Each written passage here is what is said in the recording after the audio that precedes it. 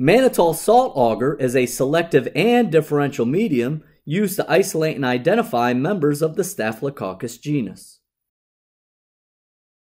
We will start our discussion with the selective aspect of the medium. Mannitol salt agar contains 7.5% sodium chloride, which is considered a high salt concentration for most bacteria. These hypertonic conditions draw water out of the cell, causing the plasma membrane to pull away from the cell wall and plasmolyze. These conditions inhibit the growth of salt intolerant bacteria.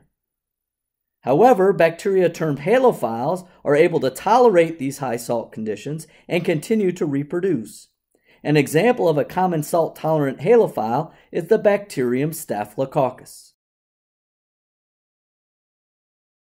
Mannitol salt agar also differentiates halophilic bacteria based on their ability to ferment mannitol. The pH indicator phenol red detects mannitol breakdown through a color change from red to yellow as the pH shifts towards acidic. This color change is observable within the medium, allowing for the identification of mannitol fermenting staphylococci. Let's now review some expected results with MSA. The growth of the bacterium pictured indicates it is a halophile. The yellow coloration of the medium means the bacterium is also a mannitol fermenter.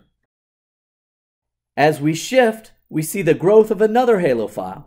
What distinguishes or differentiates this bacterium is its inability to ferment mannitol, which is indicated by a lack of color change within the medium. The third inoculated sample shows no growth.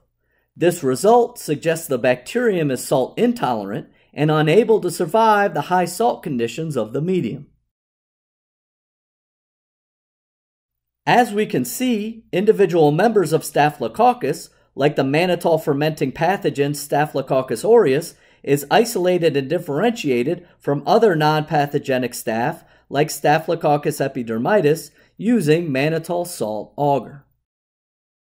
To learn more about the spread of Staph aureus in locker rooms and athletic facilities, make sure to check out the Focusing on Health section titled Hidden Dangers of the Locker Room.